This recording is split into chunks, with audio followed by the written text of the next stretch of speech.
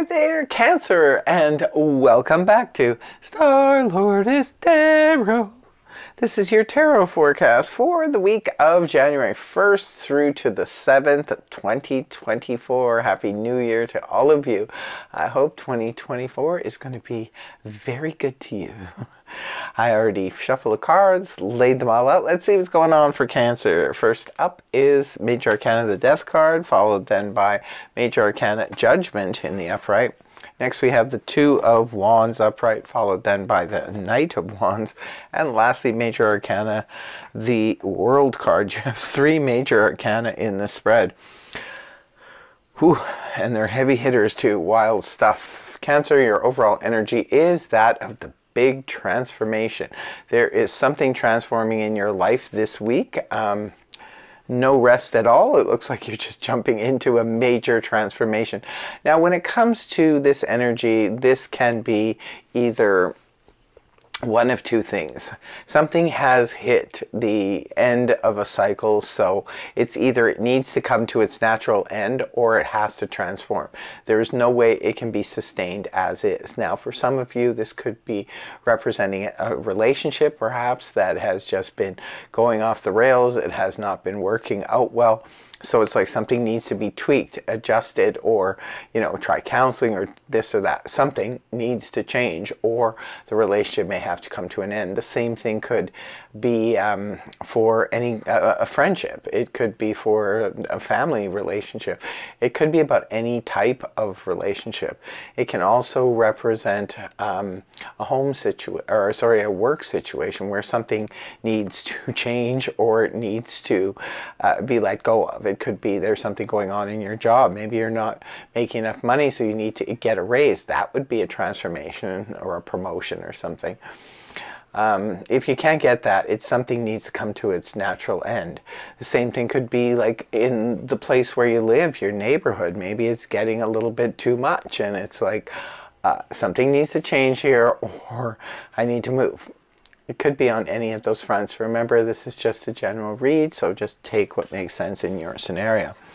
So right at the beginning of the week, you have the judgment in the upright position. There's going to be a need to make a judgment call here. Now, it could be on whatever is going on with the big transformation, but it could be a separate energy altogether, though. The judgment is generally about a resurrection. Something we thought was done and dusted may be coming back up again for review. Now, this could be an old relationship, it could be an old friendship, it could be a job that you used to work at or a company you used to work for. Perhaps you're noticing that they're hiring again and maybe they've even pursued you. It's something you will have to make a judgment call on whether or not to go for it. Same thing could be an old relationship. Maybe somebody wants to start up again, but you get to make the call. You have free will. You get to say yes or no. You can sometimes, sometimes people will use these opportunities as a closure moment and, you know, have the talk and then that's the end of it. So whatever you're going to do, that's that's in your hands. Others of you, if you're particularly uh, spiritual, this could represent um, a spiritual awakening, an aha moment where you suddenly see things in a new light. The next card you have is the Two of Wands in the upright position. Well, this is one foot in the past, one foot in the future, trying to figure out what to do next. Um, looks like you're at some kind of crossroads here with, with these cards so far, Cancer.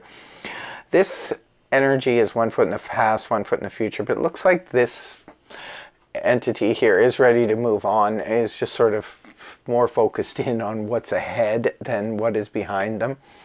So I think you're really seriously contemplating, some of you could be contemplating a move, a house move, maybe moving out of uh, the city, you could be looking to move to another state, you could be looking to move across town or move to another country altogether.